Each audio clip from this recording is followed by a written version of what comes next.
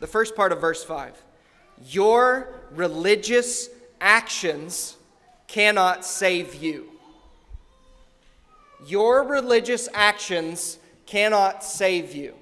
Paul says, if anyone has confidence in the flesh, I've got more. I was circumcised on the eighth day. Circumcision was an outward sign that you were one of God's people. And according to the law of God, it was to be done on the males on the eighth day after they were born. Perhaps so they would be strong enough because it is a surgery that you're doing on a little boy. But it was the outward sign that you belong to one of God's people. And Paul's saying, the eighth day I was circumcised. I'm an eight dayer. That's what the text literally says. Circumcised as an eighth dayer. What does that mean? Paul's saying these false teachers are telling you to be saved through your religious actions. Most of them were circumcised as adults. I was circumcised on the eighth day, exactly like God's word said. He's saying if you want to talk about religious actions, i am perfect in them. I've done all of them. So much so that I was circumcised, which God had commanded, on the specific day that He had commanded. But his point in saying all of this is circumcision, this religious action, couldn't save me. I counted as loss because it couldn't save me. Hear me, friends. Hear me in application of this. Your religious actions cannot save you. Being circumcised cannot save you. Praying a prayer and asking Jesus into your heart cannot save you. Simply confessing your sins that I am a sinner out loud or in your heart cannot save you. Saying with your voice or with your heart, Jesus is Lord, cannot save you. Being baptized in water cannot save you. Speaking in tongues cannot save you. Taking the Lord's Supper cannot save you. Fasting cannot save you. Being a member of a church cannot save you. Being a Calvinist cannot save you. Being Reformed cannot save you. Being an Arminian especially cannot save you.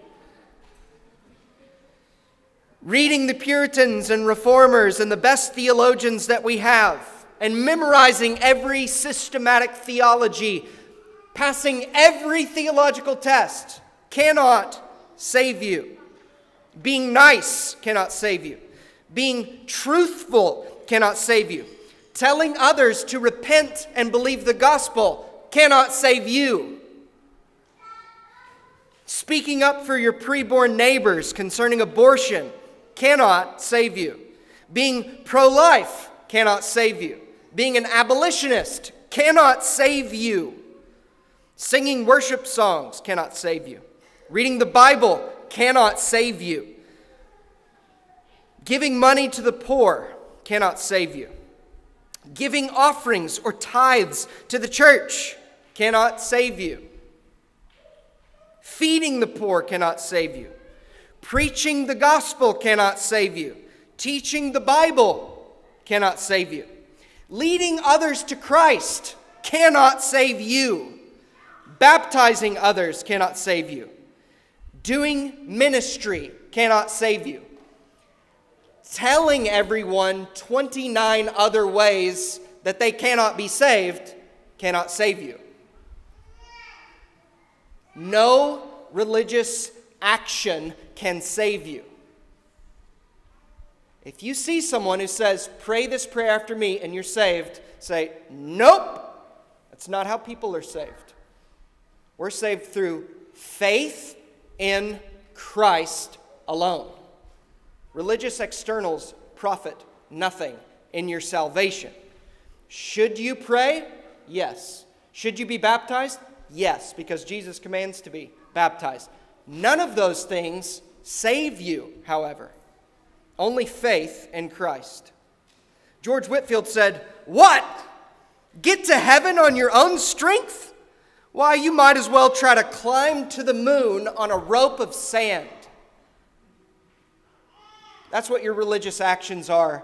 If you're looking to those religious actions to make your sin gone and be counted righteous before God, it's a rope of sand trying to climb to the moon. Are you trusting in any of these things that I have mentioned in order to make you right with God? If your faith is in any of those things, then your faith is not in Jesus. You cannot trust your baptism and Christ. Christ is exclusive. You cannot trust praying a prayer and asking Jesus to come into your heart and save you and Christ. You're either trusting the prayer you prayed or you're trusting the once crucified, now resurrected Christ. Cannot trust any religious actions. That's why Paul says, I didn't trust in the best of the best religious actions. I was circumcised even on the eighth day, but I count it as loss.